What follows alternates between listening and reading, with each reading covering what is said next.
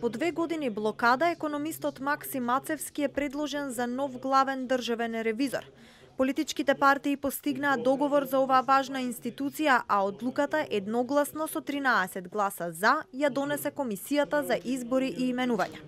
На потек е собранието кој треба да ја усвои на пленарна седница. И мислам дека би било коректно за оваа институција која што има уставен карактер, дефинирана е со устав, не со закон, да одиме со решение, со предлог кој што би добил поширока поддршка и дозволете ми да го предложам господин Максим Ацевски за главен државен ревизор, е дипломиран економист со огромно 20 годишно искуство, долги години е во Државниот завод за ревизија. Едногласно се одби барањето за апанажа на поранишната специјална обвинителка Катица Јанева.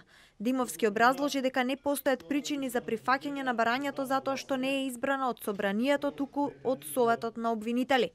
Председателот на комисијата исто така побара Јанева јавно да каже чие е сценариото на СЈО со кое биле уценувани политичари и пратеници.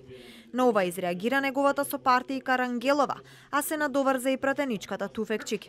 Не сакам инсинуации да не ставате во ист пакет колегите пратеници дека некој бил уценуван за да постапува во собрание.